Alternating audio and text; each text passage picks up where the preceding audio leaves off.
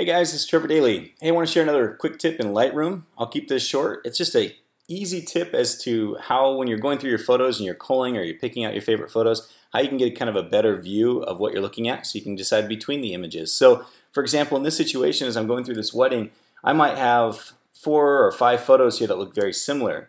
And so what I'll do is I'll select those photos and I'll hit the letter N. Now when I hit the letter N, what I'm doing is I'm bringing up the survey mode. And the survey mode allows me to actually look through those images a little bit closer and compare them.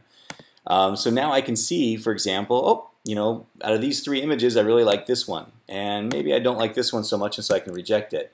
I'll hit letter G to go back to the library module. I'll go through my next series of images. I'll pick a few more, hit the survey mode. And again, same thing. I can go through and I can say, well, I, I really like this one, but I don't like this one so much. Hit the letter G.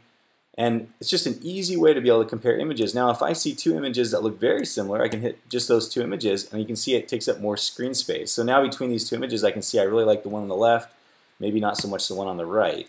Um, so it's an easy way, the survey mode is an easy way for us to compare you know, two or three, four images in Lightroom that look very similar, but we just want to be able to have them so they can take up more screen space. Now some people will just use the plus or minus key in the library module to make their thumbnails bigger or smaller. But what I found with the survey mode is it really allows me to just specify just those three or those four images that I would like to use. So hopefully this tip was useful. Again, it's the letter N, brings up the survey mode. Just select the images you want to survey, the images you want to compare to each other.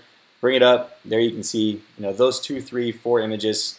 Usually I try not to go beyond four, maybe five or six if it's vertical, but, um, but usually I try to take either three or four vertical or the uh, horizontal layout and, and be able to choose between those. So hopefully this tip was useful, guys. If it was, definitely feel free to subscribe to my YouTube channel. I'm usually posting these videos about once a week or so, and I try to keep them two minutes or less. So enjoy. Have a wonderful day, guys.